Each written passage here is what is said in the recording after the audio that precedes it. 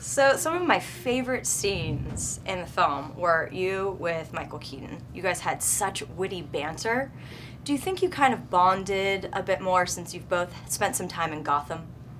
Oh well, we certainly had our Gotham. Um, our, we we have we our history of Gotham.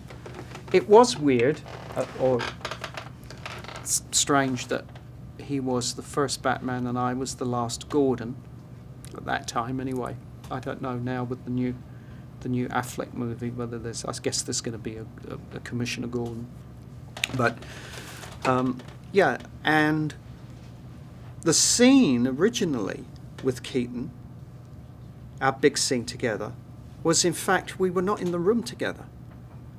And that was, he was in his office and I was in China. And it was a Skype. And I was in that day to shoot Michael's side and I was going to read the lines off. And we rehearsed together in the room, and Jose just said, "You guys are fantastic together. How did we get you in the room?" He said, "Forget the Skype, forget, forget, forget it. We've got to somehow get you in the room together. How do we do it?" And we came up with the line, um, "Now get your ass back on a plane and go back to China." So I just flew in for the meeting. He flew me in from China, Perfect. and that's how we actually managed to get in the room together. Love it. So it was one of those, uh, one of those things, uh, you know, in the moment on the on the on location. hmm So the original film was obviously in the 80s, where the concept of half human, half robot, and automated warfare seems so far fetched. But now we're not that far from that. So do you think that enabled this film to feel more grounded?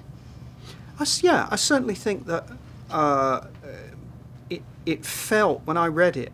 It, wh- where the first one was very much science fiction, I read this and I thought, oh, this is very current. It, it's, you know, drones, for instance, are, the, are here.